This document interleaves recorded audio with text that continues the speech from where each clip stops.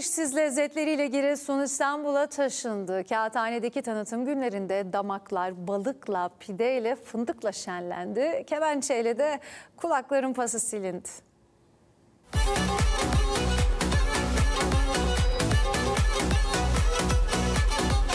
Gelesun, göresun, yiyesun, doyasun.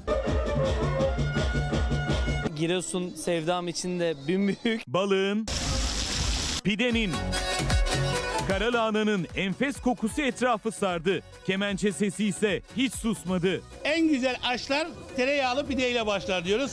Çıkın çıkın gelin. Giresun'un hem yöresel lezzetleri hem de o meşhur Karadeniz coşkusu İstanbulluların ayağına geldi. Giresun kültür buluşmaları Kağıthane Hasbahçe'de başladı. Burada Giresun'un pidesinden karalahana çorbasına kadar birbirinden farklı lezzetler bulunuyor.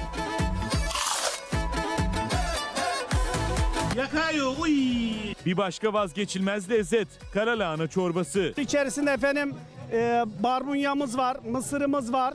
Yaklaşık 4-4,5 saatte kaynatarak el- elde ettiğimiz et suyuyla yaptık bunları. Dünyaca ünlü Giresun fındığı da tezgahlarda yerini aldı.